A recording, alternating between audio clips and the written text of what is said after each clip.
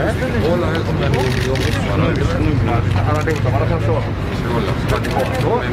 έχουν ανοίγει όπως Ανοίγουν τα παράθυρα όλα. Τα καινούργια λεωφορεία που παρέλαβε ο ΑΣΑ και κυκλοφορούν πλέον στους δρόμους της Αθήνας, όχι απλά έχουν λιγότερα παράθυρα σε σύγκριση με τα προηγούμενα, αλλά και αυτά ανοίγουν με μια ελαφριά ανάκληση. Με αποτέλεσμα ο αερισμός στην καμπίνα να μην είναι επαρκής.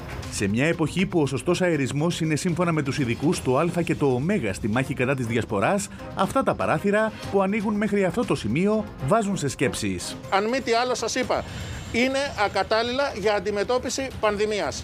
Με παράθυρα τα οποία ε, ανοίγουν πολύ πιο άνετα, πολύ πιο ασφαλή. Τα επίμαχα λεωφορεία που έχουν προκαλέσει αντιδράσεις και πολλές συζητήσεις στους κόλπους του ΟΑΣΑ βγήκαν στους δρόμους πριν από λίγες μέρες. Σε καμία περίπτωση αυτό το φινιστρίνι δεν είναι, δεν είναι το 17% που ορίζει η νομοθεσία για να υπάρχουν ανοιγόμενα παράθυρα σε ένα λεωφορείο.